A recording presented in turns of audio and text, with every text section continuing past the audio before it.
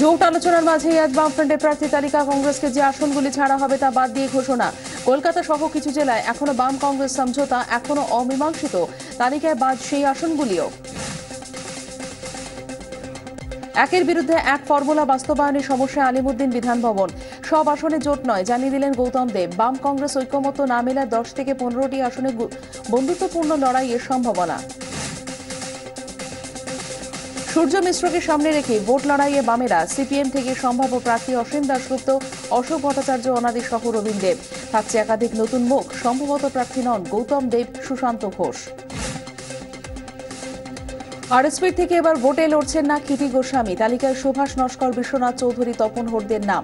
CPI থেকে ভোটে প্রার্থী শ্রীকুমার মুখোপাধ্যায়, আনন্দ মণ্ডল। কংগ্রেসের সঙ্গে এখনও মেলেনি একশো শতাংশ শরিকি সম্মতি। কোন সূত্রে আসন রফা? আজ বৈঠকে সিপিএম রাজ্য কমিটি শরিকি দাবি নিয়ে আলোচনা হতে পারে দলের শীর্ষ মহলে। কথা প্রার্থী তালিকা নিয়েও।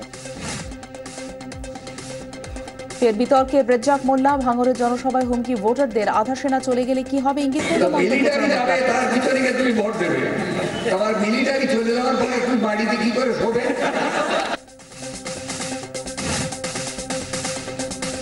শোবে জনসভায় রেজ্জাকের মন্তব্যে সমালোচনার ঝড়। মানুষকে নিয়ে নয়, নিজেদের নিরাপত্তা চিন্তা করুন। প্রতিক্রিয়া সুজন চক্রবর্তীর।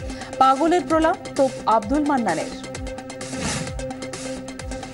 কোচবিহার থেকে কাকদ্বীপ ভোটের আগে গোটা বাংলা পরিক্রমায় চব্বিশ ঘণ্টা কথা মানুষের সঙ্গে। আজ মালদা, দেখুন সন্ধে সাতটায়।